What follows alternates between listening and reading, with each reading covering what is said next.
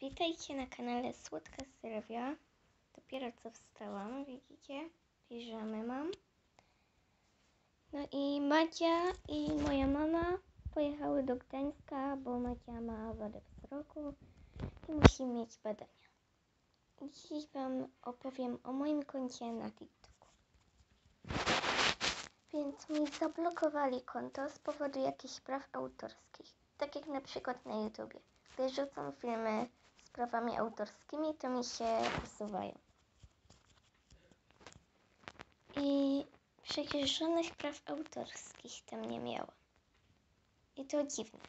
Więc postanowiłam stworzyć nowego TikToka, trochę Madzi i trochę mojego. I będziemy mieć wspólny.